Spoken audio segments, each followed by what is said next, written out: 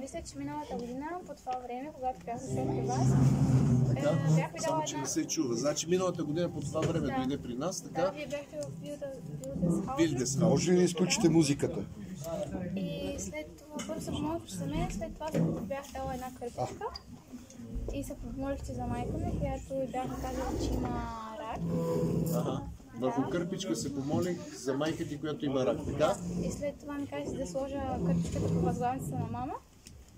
Е, Те всъщност бяха две кърпички. Едната беше за малката ми сестра, защото имаше проблем с, с окото, а другата беше за майка ми. Така? След една седмица майка ми е, имаше термин на доктор Така? и след, след като отиде там, просто си казаха, че тя няма нищо, няма нужда да ходи на...